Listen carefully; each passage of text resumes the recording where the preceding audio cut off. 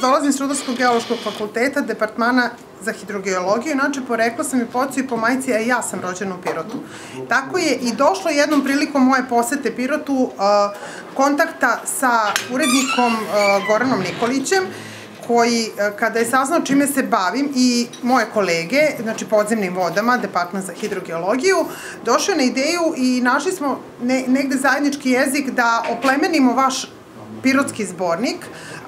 radovima koji se direktno prirodnih nauka tiču, jer do sada jednostavno bilo je tu lepih radova geografa i geologa, ali jako davno, znači Zeremski, tu su i, i, i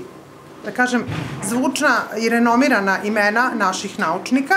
E sada, u jednom trenutku je neko zatiše nastalo i nas dvoje smo nekako se dogovorili da oplemenimo taj rad i rezultat tog sastanka našeg